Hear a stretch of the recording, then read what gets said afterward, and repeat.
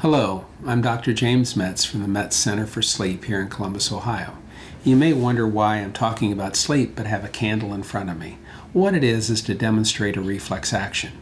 What is a reflex action? Well, it's the primitive brain. It's our body taking care of us without thinking. So you stick your finger in the candle flame and you jerk it back, and it's protection. It's protection. You didn't have to think about jerking that finger back, it just did it. Well, let's talk about something that's very important to us, and that's breathing. Breathing is absolutely critical. If we don't breathe, we don't continue to live.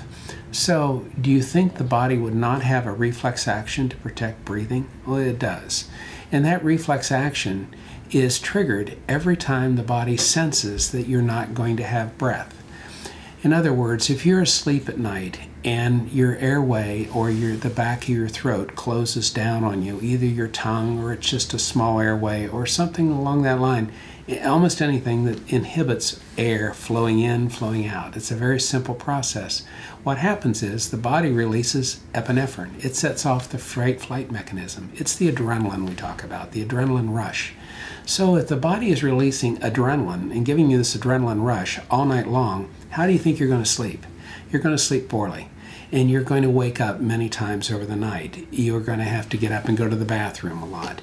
It's there's a lot of things that it does that tr is triggered by this reflex action.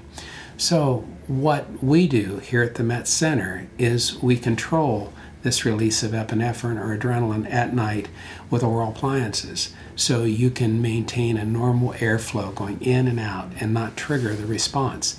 That means that you sleep better, you feel better, and you wake up the next morning restored.